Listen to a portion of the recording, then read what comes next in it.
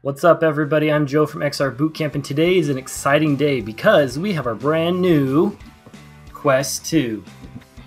And we're going to do a little unboxing video for everybody here, so let's do this thing.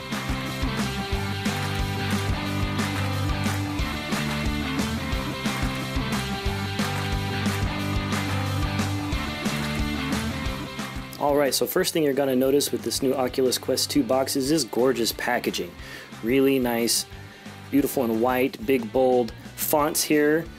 You're going to see a 256 gig or 64 gig option inside the box, and we'll see this in another minute. Your VR headset, two touch controllers, two AA batteries, thanks, very appreciated, power adapter, glasses spacer, and charging cable.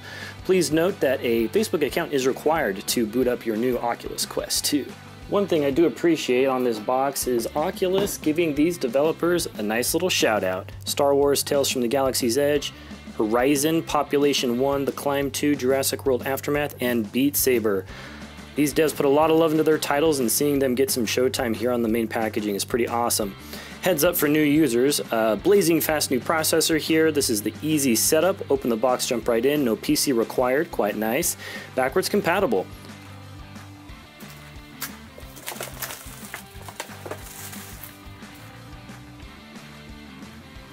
Great. Now doing some of this unboxing.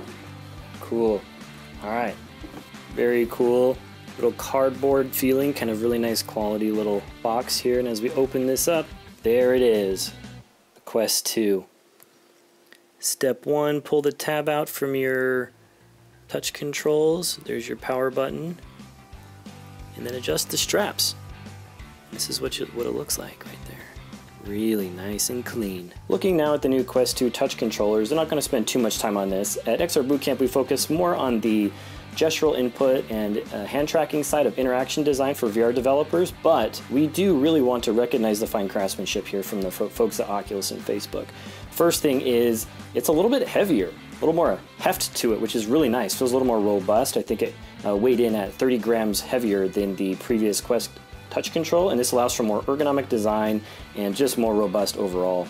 Next thing is this menu button. It used to kind of lay right here where your thumb would rest more naturally, uh, causing a lot of kind of mispresses. Now it sits below the analog joystick to avoid that problem. A lot of players previously kind of would have this battery case slide open accidentally during play, causing issues. That seems to now be fixed.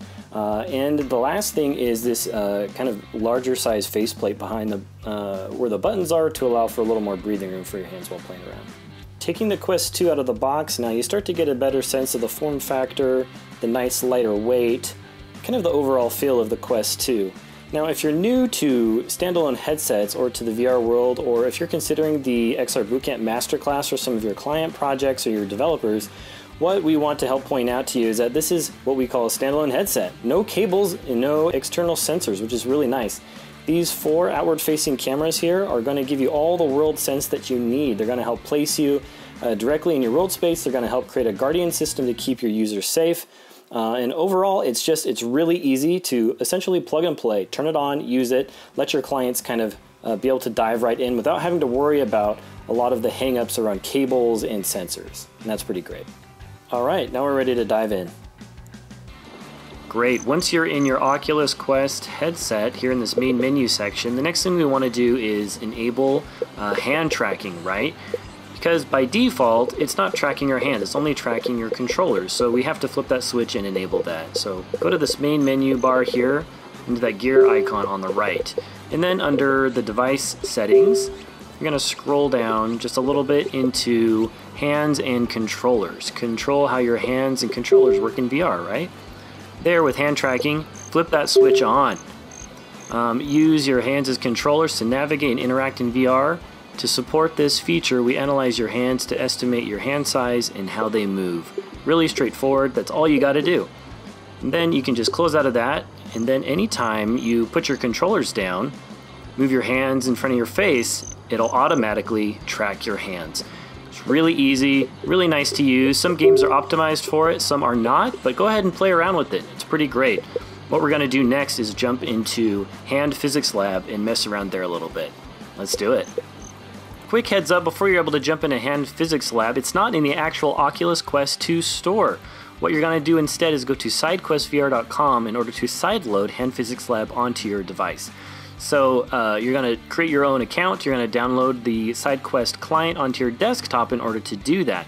If you're a newcomer to SideQuest, uh, the best guide that we're able to point to is from our friends at Upload VR. Um, it's this great how to sideload content on Oculus Quest using SideQuest, updated by Harry Baker. Thank you, Harry Baker, uh, specifically for new Quest 2 users. It really is pretty great. It's going to give you a good step by step. Um, and once you go through all those steps, you're going to be able to bring Hand Physics Lab directly onto your new Quest device.